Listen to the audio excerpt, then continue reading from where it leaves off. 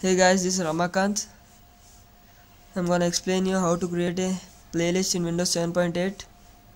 It's on Lumia 510.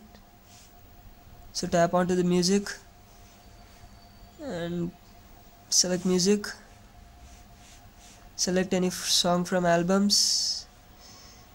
Play this song. Okay, after this, you get back to the songs.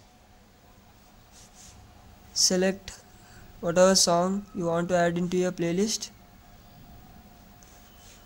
Here I am selecting songs to create my playlist.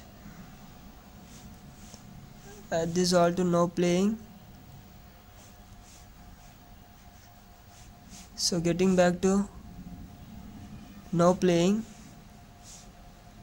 Here I got some songs which I have selected from the songs so now we can save this name this name my playlist as my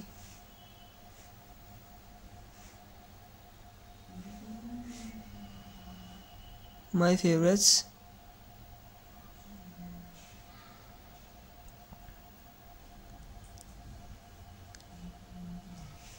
Uh, getting back to playlist so as to see the playlist is created or not. So I got my playlist.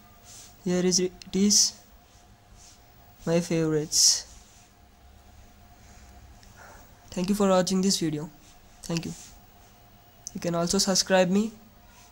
Thank you